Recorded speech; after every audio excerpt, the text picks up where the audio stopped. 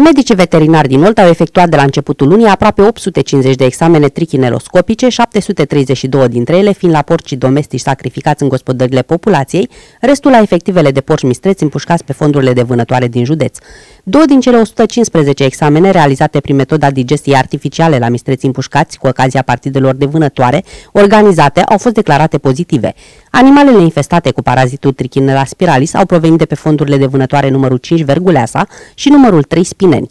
Carcasele provenite de la animale au fost dirijate către o unitate de incinerare, conform legislației sanitare veterinare în vigoare. La mistreți împușcați la partidele de vânătoare se efectuează concomitent cu analizele pentru trichinela și cele pentru pesta porcină clasică și pesta porcină africană. În ultima săptămână, după confirmarea celor două cazuri de pestă porcină africană la tot atâtea animale găsite moarte pe fondul de vânătoare 43 Dăneasa, nu au mai fost semnalate cazuri de cadavre de mistreți sau animale bolnave.